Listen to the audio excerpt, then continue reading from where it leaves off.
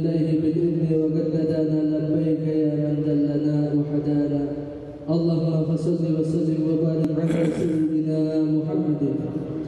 الفاتح لما أغلق والخاتم لما سبق.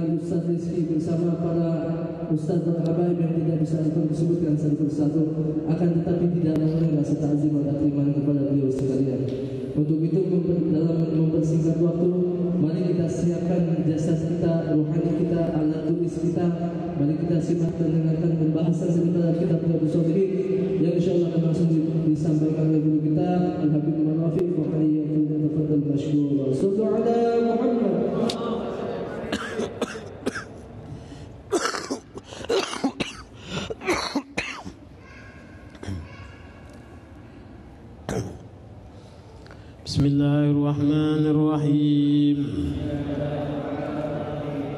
التاسع عشر. وعنه قال قال رسول الله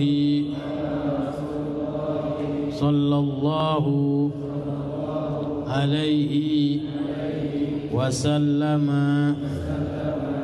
ما من مسلم يغرسوا ورسا إلا كان ما أكل منه له صدقة وما سرق منه له صدقة wala ahadun illa kana lahu sadaqatan rawahu muslim wa riwayatin lahu la yaghrisu al muslimu warasan faya minhu insanun wala dabatun wala tairun illa kana lahu sadaqatan إلى يوم القيامة وفي رواية له لا يغرس مسلم فرسا ولا يزرع زرعا فيأكل منه إنسان ولا دابة ولا شيء.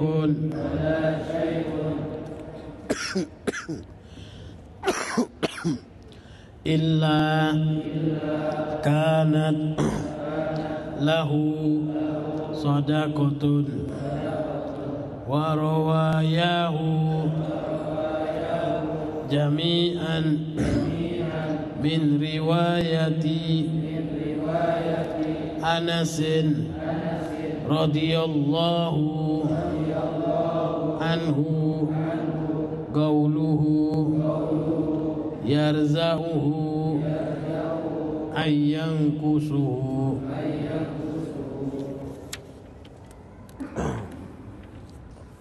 Alhamdulillah. Puji syukur kepada Allah Subhanahu wa taala. Di malam hari ini bagaimana biasanya kita bisa bertemu kembali di dalam pengajian majelis Jalsatul Isnin Ba'alawi? Yang mana kehadiran kita tiada lain pengharapan kita kepada Allah Subhanahu wa taala. Setiap kita menghadiri majelis ta'lim setiap kita menghadiri majelis ilmu kita berharap kepada Allah Subhanahu wa taala. Dosa-dosa kita diampuni oleh Allah Subhanahu wa taala. Kita berharap kepada Allah Subhanahu wa taala. Amal-amalan ibadah kita selalu dicatat dengan amalan-amalan yang soleh.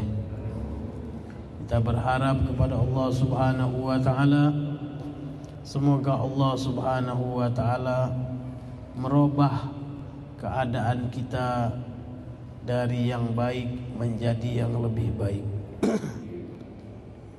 terus kita memohon memohon terus kepada Allah Subhanahu wa taala. Minta dirubah keadaan, minta dipindahkan, minta dijauhkan dari sifat-sifat yang tidak baik, sifat yang buruk, sifat yang hina, kita selalu memohon kepada Allah Subhanahu wa taala di setiap kehadiran kita di tempat-tempat yang baik seperti majlis taklim, majlis zikir, majlis ilmu, majlis membaca hadis-hadisnya Nabi Muhammad sallallahu alaihi wasallam dikarenakan manusia ini tidak akan luput dari kepada kesalahan. Manusia ini tidak akan luput dari kehilapan. Maka dari itu setiap kita menghadiri majlis ta'lim, majlis ilmu, majlis maulid berharap terus kepada Allah Subhanahu wa taala supaya kita dipindahkan, supaya kita ditinggalkan dari yang tidak baik menjadi yang baik, dari yang baik menjadi yang lebih baik, dari muamalah, dari ber, berbicara, dari bertingkah laku, dari berusaha, dari berakhlak. Jadi kita terus memohon terus kepada Allah Subhanahu wa taala dikarenakan ada kelas-kelasnya ada kelas SD, ada kelas SMP, ada kelas SMA, ya, ada kelas kuliah, ya, ada kelas-kelasnya. Begitu juga lah di dalam bermuamalah, ya, di dalam kita me melakukan daripada perbuatan-perbuatan kita sehari-hari, baik itu di dalam beribadah kepada Allah Subhanahu wa taala, begitu juga di dalam berkomunikasi, dalam berbicara, di dalam berteman, di dalam bertetangga, ya. Ya, semuanya itu ada fase-fasenya, ada masa-masanya yang begini, yang begitu. Maka dari itu apa pun yang telah kita dapatkan kita selalu memohon kepada Allah Subhanahu wa taala untuk supaya selalu ditingkatkan lagi akhlak, selalu ditingkatkan lagi keimanan, selalu ditingkatkan lagi keyakinan kita kepada Allah Subhanahu wa taala. Alhamdulillah di dalam pengajian demi pengajian ya, mudah-mudahan kita selalu mendapatkan ilmu yang bermanfaat. Dalam pengajian demi pengajian mudah-mudahan ya, setiap kita dapatkan kita amalkan setiap kita dapatkan kita mencoba untuk mengambil faedah, mengambil manfaat daripada ilmu yang kita dapatkan.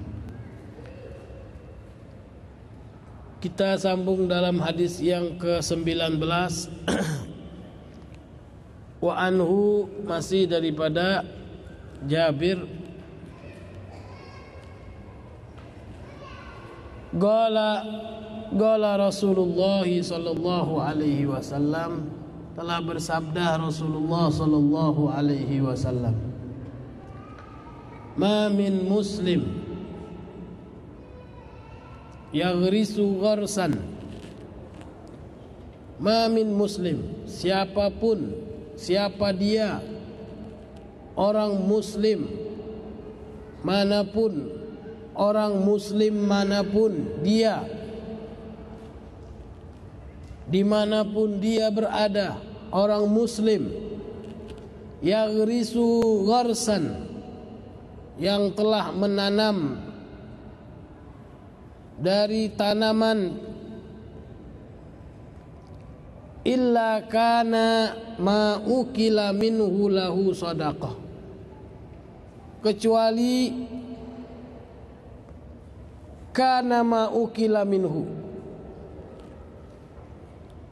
yang ditanam tersebut berbuah dan dimakan oleh seseorang.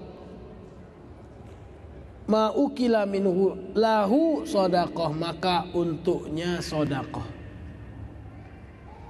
Ya, jadi apa pun yang dia tanam terus dimakan oleh orang maka itu menjadi pahala sodakoh untuknya Ya, jadi jangan kita uh, berkecil hati kalau kita menanam sesuatu. Ya. Berapa banyak ya nenek moyang terdahulu, orang-orang terdahulu dia nanam memang sudah dia pikirkan untuk apa? Dia nanam untuk anak cucunya, bukan untuk dia. Jadi dia tidak pernah mencicipi buahnya, dia tidak pernah mencicipi rindang ya. Uh, dedaunan-dedaunannya ya. Dulu sewaktu masih uh, uh, tahun 92 93 ya masih banyak pohon-pepohonan di Bandung ini ya.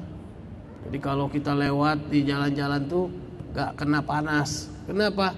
Kena pohon-pohon yang besar ya masih ba masih banyak. Yang nanam siapa? Yang nanam Belanda. Ya bukan orang Indonesia yang nanam, nggak tahunya. Ya sudah lama ya pohon ini. Ya, ya penunggunya besar-besar lagi. Ya ada jinnya ya. ya penunggunya nggak tahunya bukan bukan bukan orang Muslim yang nanam, nggak tahunya ya orang Belanda zaman dulu alangkah bagusnya alangkah baiknya jikalau yang menanam itu ya kita. Ya. Kenapa? Karena di dalam agama kita ya setiap daun setiap buah ya dalam satu rindangan dalam satu buah yang dimakan ya semuanya dapat paha pahala dari Allah Subhanahu Subhanahu wa taala. Ya. Jadi jangan berpikir ya bagaimana negara ini ya bagaimana kota kita biar maju bagaimana kota kita biar ya biar rindang biar apa nyaman. Jangan berpikir hanya begitu saja akan tetapi pikirkan bagaimana investasi akhirat kita. Nah, di sini kita lihat ya, ma min muslimin yaghrisu gharsan illa kana ma ukila minhu lahu sadaqah wa ma suriqa minhu lahu dan yang diambil dari ya tanaman tersebut diambil dari buah tersebut diambil dari daun tersebut ya maka itu pun juga menjadi pahala soda pahala sodakoh ya berapa banyak orang yang di dalam ya uh, di dalam sorga kebanyakan kenikmatan ya karena banyaknya sodakoh. Padahal dia tidak memberi sodakoh tapi banyak pahala soda pahala sodakoh ya. Jadi dia sendiri bingung ya. Saya ini banyak sekali amal ibadah saya ya. Padahal saya belum belum pak tahu saya yang melakukan atau bukan. Kenapa? Karena pahala yang mutaaddi ya yang terus menerus berja berjalan ya investasinya ya dari pahala tersebut terus menga terus mengalir. Wala yarzauhu ahadun illa kana lahu sadaqah. Dan tidak dikurangi ya, kepada seorang pun illa kana lahu sadaqah. Kecuali itu semuanya diberikan pahala soda sodako tidak dikurangin ya. Kalau misalnya ini orangnya ya mengambilnya ini tidak dikurangin. Sama ya begitulah. Luasnya ya rahmatnya Allah Subhanahu Subhanahu wa taala. Rawahu Muslim wa fi riwayatin lahu la yaghrisul muslim tidaklah menanam seorang muslim. Gharsan tanaman payakula dimakan maka di, tanaman tersebut berbuah dimakan minhu insan oleh manusia. Wala dabbatun. Dan tidaklah ada yang mempunyai kaki empat atau kaki dua atau sayap ya wala toirun. Dan yang bersayap seperti burung. Illa kana lahu sadaqatan. Kecuali itu semua adalah sodakoh pahala sodakoh ila yaumil kiamah. Sampai hari kia sampai hari kiamat. Ya jadi kalau pohonnya itu ya hidupnya sampai seribu tahun ya seribu tahun. Ya kita mendapatkan pahala soda pahala sodako. Ya kalau tidak mati-mati ila yaumil kiamah sampai hari kiamat dapat pahala soda dapat pahala sodako. Ya jadi nggak harus manusia yang menikmatinya. Binatang-binatang pun ya menikmatinya. Bahkan jin pun menikmati menikmati berapa banyak. Ya jin itu rumahnya di dalam po dalam pohon. Ya. Wa riwayatin lahu la yaghrisu muslim. Dalam riwayat yang lain juga tidaklah menanam seorang muslim tanaman. Wala yazra'u dan tidaklah menyemai. Ya apa me, zaraah ya. Ber, ber, bertani ya. Zar'an ya, tan, tan, tanaman-tanaman tersebut menyemai daripada membibit ya. Fayakula minhu maka dimakan darinya. Insanun manusia waladabatun dan hewan-hewan yang berkaki empat ya. Wala syai'un dan tidaklah sesuatu ya, illa kanat lahu sadaqah ya. Kecuali itu adalah soda sadaqah ya. Warawayahu jami'an min riwayatin Anas dan riwayat semuanya itu dari riwayat Anas bin Malik radhiyallahu anhu Gauluhu yarzauhu makna dari kata yarzauhu ayang gusuhu yaitu maknanya dikurang dikuranginya. Ya. Kalau kita ketahui bahwasanya biasanya kalau di dalam hadis yaitu uh, amalan yang tidak putus-putus itu biasanya ada berapa semuanya? Ada ti tiga, ya. Sodakotun jariyah. Terus ilmun yantafa'u bih waladun soleh yad'ulah. Ya kita ketahui. Waladun soleh anak yang soleh yang mendoakan orang tuanya. Ilmu yang berman ilmu yang bermanfaat. Terus ya, sodakotun ja, sodakotun jariyah. Tapi di sini dijelaskan lagi oleh Ibnul Arabi karena luasnya, luasnya rahmatnya Allah Subhanahu wa taala dengan hadis ini bahwasanya ditambah tiga lagi. Jadi berapa? Jadi en, jadi enam ya. Jadi enam di sini dinyatakan ya uh, gharasin au zara'in au rabatin au ribatin. Ya. Jadi ditambah lagi dengan apa? Dengan menanam ya. Menanam pohon ya. Menanam biji-bijian ya gharasin ya. Ada jadi apa? Dari dari gharasin atau zaroin ya jadi menanam pohon ataupun menanam ya biji-bijian ya dari apa e, padi ataupun ya gandum ya jagung ya yang mana e, tanaman yang tidak lama hidupnya kalau yang pohon tanaman yang berbentuknya lah lama ya.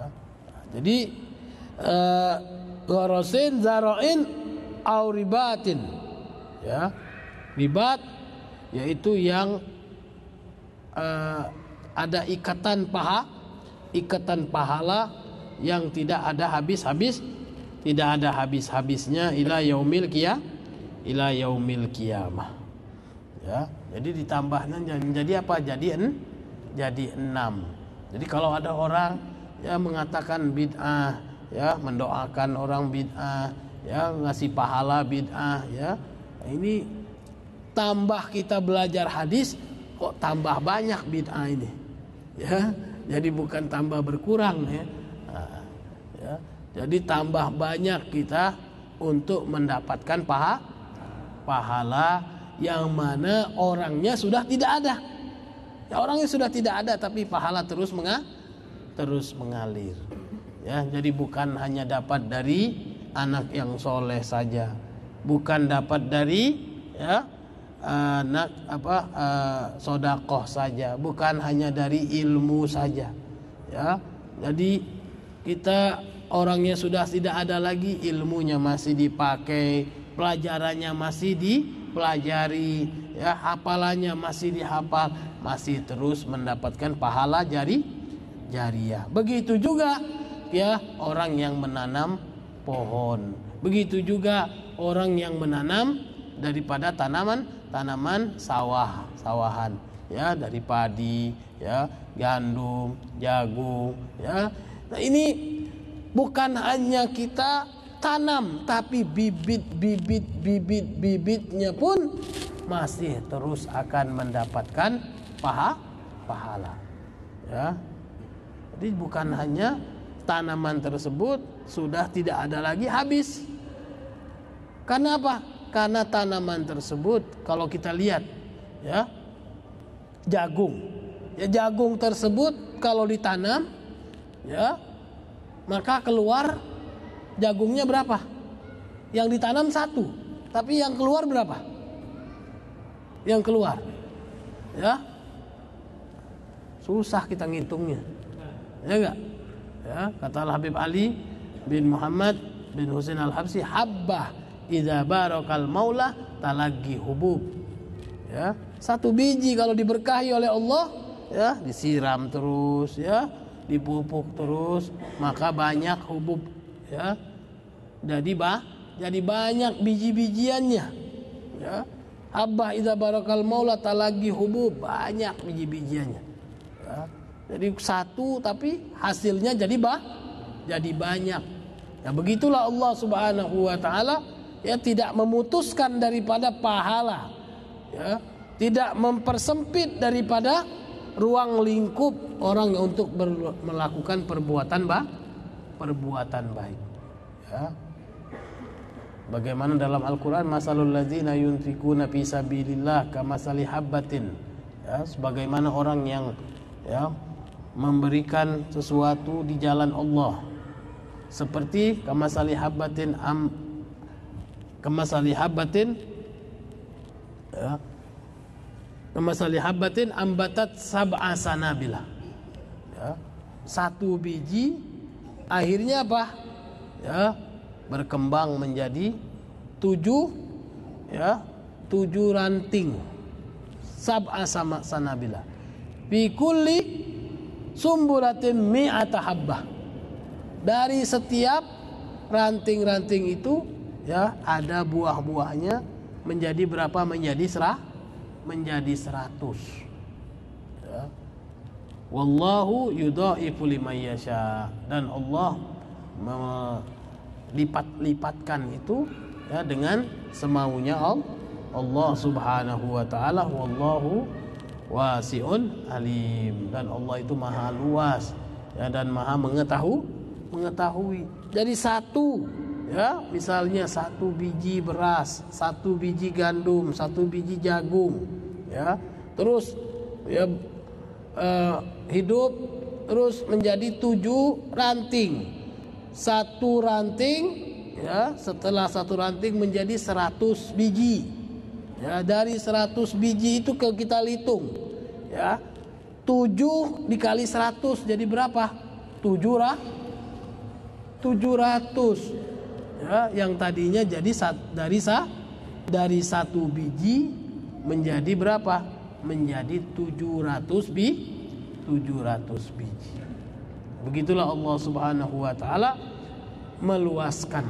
Begitulah Allah Subhanahu wa taala memberikan karena rahmatnya, karena kasih sayangnya Allah Subhanahu wa taala kepada hamba-hamba kepada hamba-hambanya. Jadi jangan kitanya yang menyempitkan. Ya, ini banyak kitanya ini yang menyempitkan. Allah meluaskan, kita yang menyempitkan. Ya, Allah melebarkan.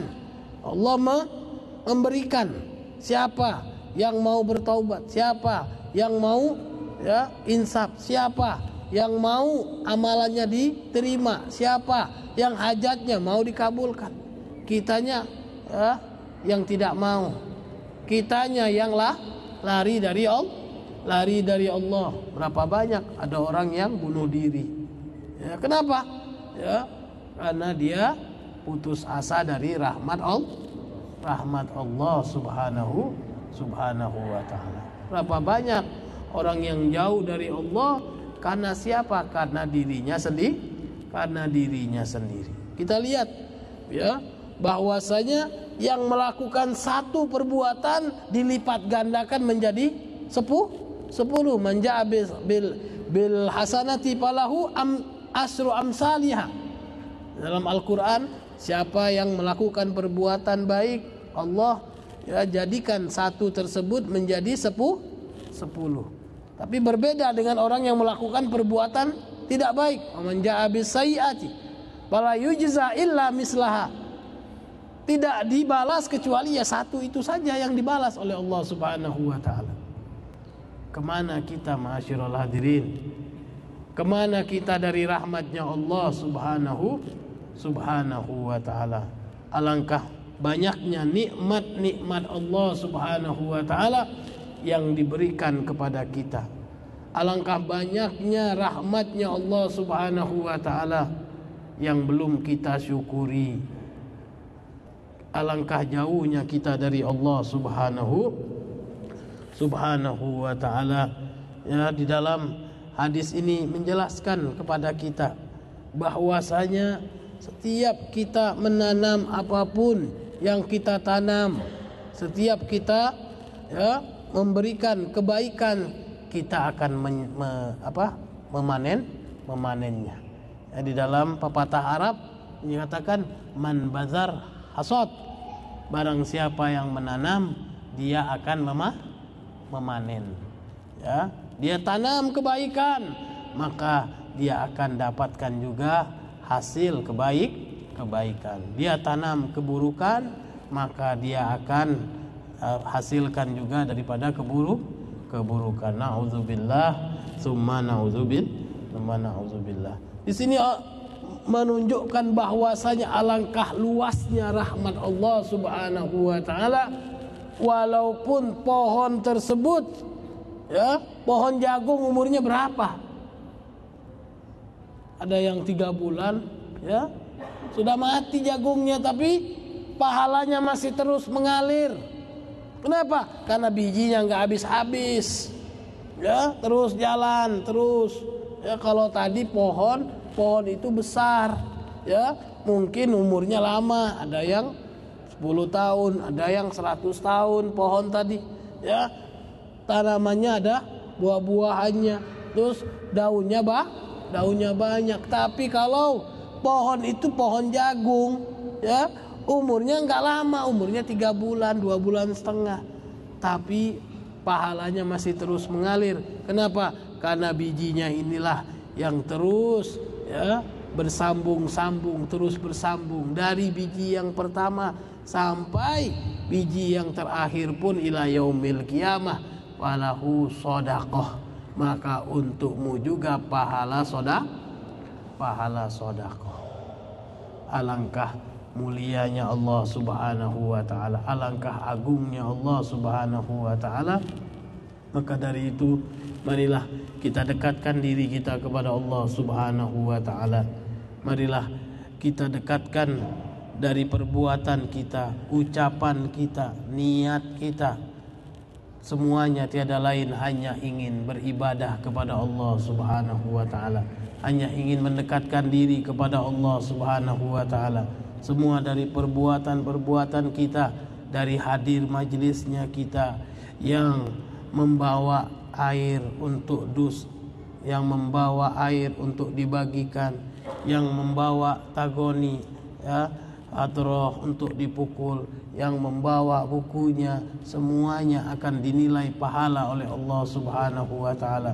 Tidak ada yang dikurangi sedikit pun oleh Allah Subhanahu wa taala yang duduk di sini yang membawa HP ya yang membawakan buahan semuanya akan dinilai pahala oleh Allah Subhanahu wa taala. Tidak ada yang membedakan di antara kita yang duduk di sini yang mengajar yang meng, yang mendengar. Tidak ada yang membedakan semuanya akan diambil jadi jadi satu oleh Allah Subhanahu wa taala. Karena Allah sangat luas rahmatnya karena Allah sangat luas maghfirahnya Karena Allah sangat luas pemberiannya. Mirahmatika ya arhamar rahimin ya akramal akramin. Sungguh Allah yang maha mulia. Sungguh Allah yang maha agung. Sungguh Allah maha yang dermawan. Birahmatika ya arhamar rahimin. Farrij alal muslimin. Farrij kurubal muslimin. اجعلنا من عباد الصالحين. ادخلنا في جنات النعيم. برحمتك يا أرحم الراحمين. مع النبيين والصديقين والشهداء والصالحين. وحسن أولئك رفيقا. وصلى الله على سيدنا محمد نبي الأمي وعلى آله وصحبه وسلم. والحمد لله رب العالمين.